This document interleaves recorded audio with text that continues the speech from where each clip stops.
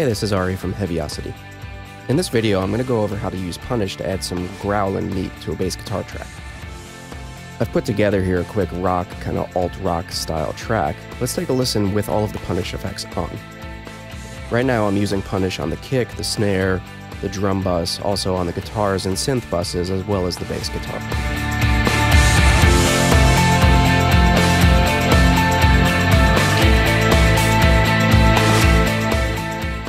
I'll turn Punish off here on the uh, on the bass track, and let's take a listen again without it. You'll notice that the kind of body of the track drops off pretty significantly.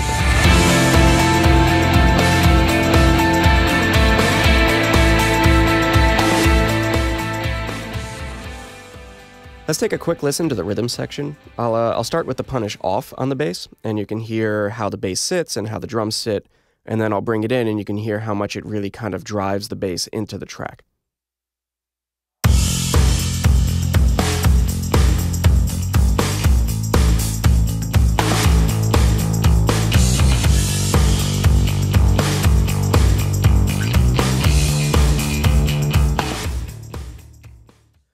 Okay, let's take a look at what's going on with Punish on the bass track. Since I played bass with a pick, I wanted to tame some of the attacks a bit and bring up a little more punch and body to the track.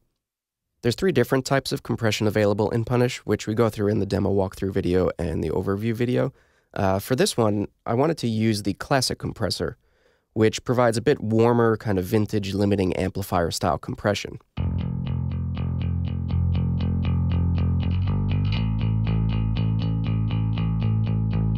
You'll notice here that I've turned up the, uh, the high pass filter.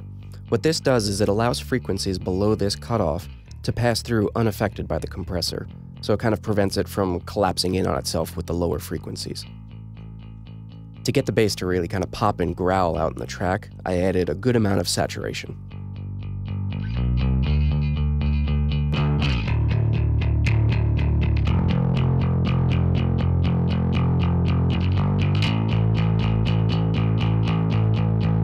Since I was going for the rock alt rock kind of vibe, I went with the tube saturation model here. It gives it a really nice warm, crunchy breakup to the sound without going too far. And just like on the uh, on the compressor, I'm using the high pass filter here at around uh, 115 hertz or so to allow the lower frequencies to pass through unaffected by the saturation.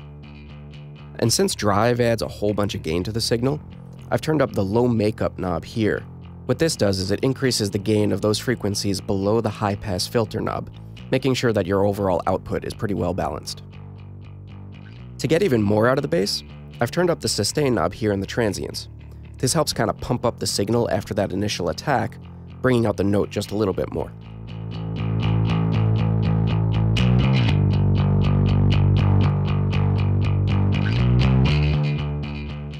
And at the end of the chain here, I made it a little bit brighter with the uh, EQ section, adding in about a dB or so of top end.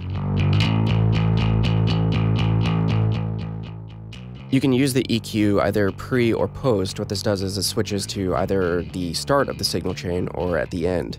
Since I'm driving it pretty heavily, I opted to brighten it up at the end. I've pre-programmed the punish knob here to control some of the parameters in saturation, transients, and the EQ section. Uh, I'm not going to go over how to do that in this video, but if you want to learn about that, you can check out the user manual or the overview video on our site.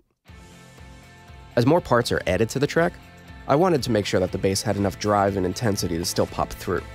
Rather than automating all of the individual parameters, I simply automated the punish knob and then cranked it up just a bit more as the parts came in.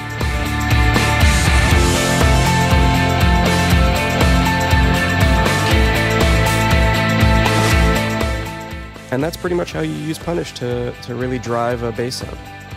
Check us out at heavyocity.com. There's a whole bunch more videos, there's user manuals and demos, uh, and there's a 10 day trial period. You can download it and use it for free, fully functional. Thanks.